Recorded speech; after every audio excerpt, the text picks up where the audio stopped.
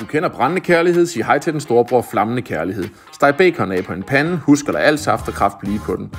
Imens bacon bliver klar, kan du koge kartoflerne. Når bacon har fået masser af farve, tilsætter du løgene.